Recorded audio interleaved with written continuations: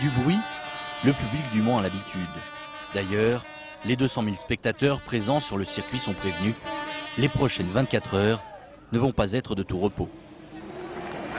Lorsque les voitures s'élancent, pour le public, le plus dur commence. Il faut trouver la meilleure place pour ne rien rater de la course. Si vous avez oublié votre fauteuil, pas de panique. Ce commerçant britannique est à votre service. En quelques heures, son stock de transat s'est volatilisé. Le premier vainqueur du Mans, c'est lui. Aujourd'hui au Mans, le commerce a fonctionné comme jamais. C'est fantastique. Plus économique, du côté des supporters français, avec une planche et deux escabeaux, on place six personnes aux premières loges.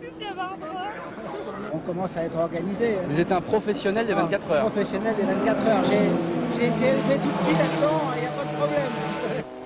Cet après-midi, le public du Mans a assisté à un début de course spectaculaire. Les 24 heures ont été neutralisées à deux reprises suite à des accidents, heureusement sans gravité pour les pilotes. Ce soir, les trois Audi officiels occupent la tête du classement, mais les 24 heures, c'est une course d'endurance et personne n'est à l'abri d'une petite mésaventure.